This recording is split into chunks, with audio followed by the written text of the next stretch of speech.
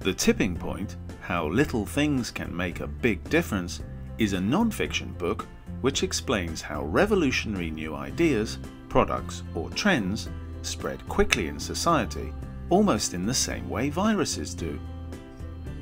These new developments silently get acceptance or momentum before reaching a critical moment, a tipping point, at which they start to affect society at an incredibly fast rate. The main theme of the book is little changes can have huge effects. The involvement of just a small number of people can have a profound impact on society.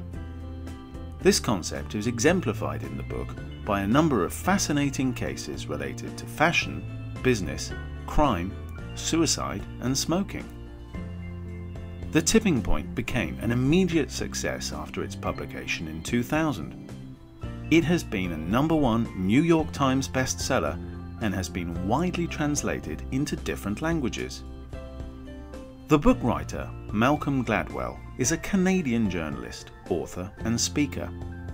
His works make extensive reference to academic research, and he's particularly interested in exploring the subtle implications of social sciences and psychology. In recognition of his outstanding contribution to social and literary arenas, he was appointed to the Order of Canada in 2011 the second highest order for merit in Canada.